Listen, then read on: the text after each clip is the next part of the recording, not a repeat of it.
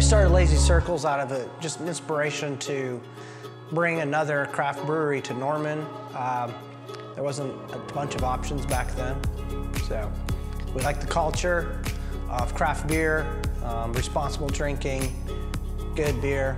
So this year for St. Patrick's Day, we're gonna start off at noon and we have Scratch Kitchen and Cocktails is coming down to serve three fun Irish food items, uh, bangers and mash, corned beef and cabbage, and shepherd's pie.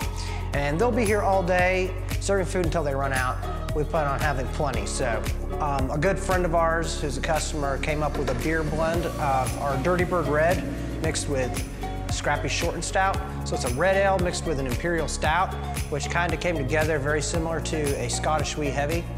Um, a very complex yet very drinkable and fun beer. It was uh, such a hit last year, we decided to take that same blend, put it in a whiskey barrel, let it age. And so this year's will be a whiskey, bourbon barrel aged, Irish, we're calling it Irish Setter. Um, and it'll be released in bottles and on tap.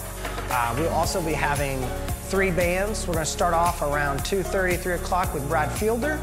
Um, then in intermission time, around 4 o'clock, we'll have traditional bagpipers and drummers. And then at uh, around 5 o'clock, we will have the Rum Fellows come and play. Um, all these times are kind of flowing and mingling a little bit, so, you know, musicians' time.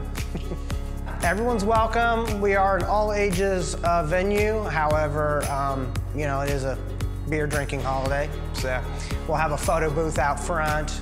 Um, we'll be, you know, dressing up is encouraged. The staff here will have festive attire on. So yeah, come on down, come have a beer with us, sample some Irish fare, and um, enjoy some great live music.